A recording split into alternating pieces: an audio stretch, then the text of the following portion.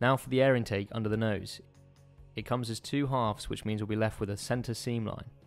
Sometimes it's best to fix the seams on parts like this before putting them on the model, but in this case we can see that we still have good accessibility even after it's added on. So go ahead and put it in place. A point to note is I leave the excess sprue on instead of cutting them flush. This means we can file it off when it's assembled and we don't get left with a dent after cutting it flat. It's hard to explain, but it's best to test it out and see for yourself. For the radiator coolers, we need to paint the inside grey, but the grills need to be black. So cut the parts off and add the flaps in open or closed, but leave the grills separate. I've gone for closed as it's more simple.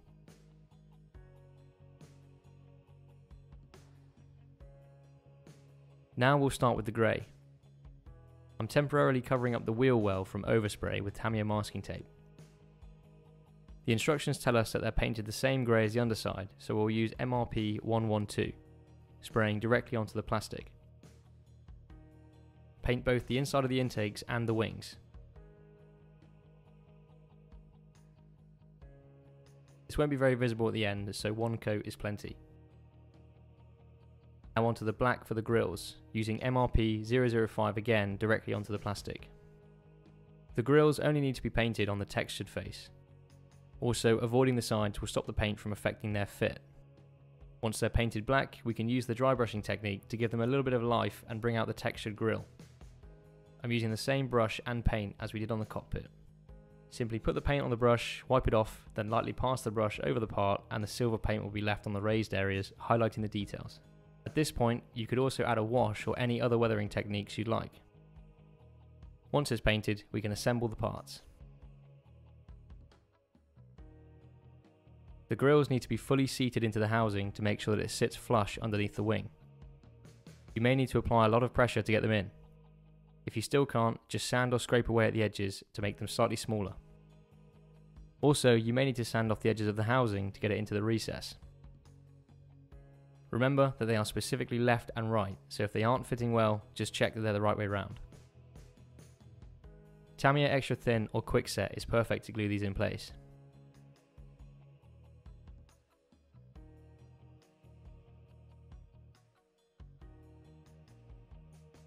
Moving on to step 35, we're adding the two panels to the rear of the fuselage. In some versions of the Spitfire, this is where the reconnaissance cameras were fitted, but not for the Mark 18, so we're covering them up. Making sure the two panels are cut out and trimmed precisely is key to getting a good fit. They're also left and right specific, so don't get caught out. Drop them in place and make sure they're centered before gluing them. Don't press them in whilst gluing as they may go in too deep. Once the plastic has glue on it, it becomes soft as it fuses together, so for parts like this, you may end up bending or moving the melted plastic out of where it should be, so be cautious and trust the engineering of the kit. Now use the same techniques for the cowling bulges over the engine.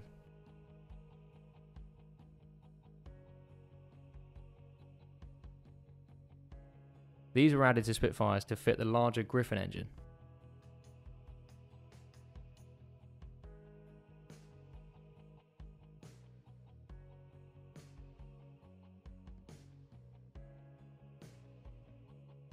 For the guns, the fit is really not great, but focus on getting them centered and level from above and to the side.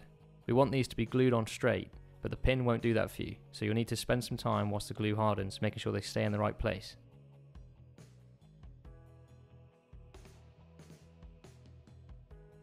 Lastly, we're going to cut out and prep all the remaining parts, mainly the undercarriage.